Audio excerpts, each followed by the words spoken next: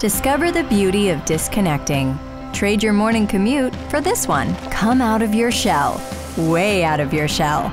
Escape the routine. The Pocono Mountains are waiting, waiting for you to zig and zag and zip, waiting for you to discover a side you never knew you had.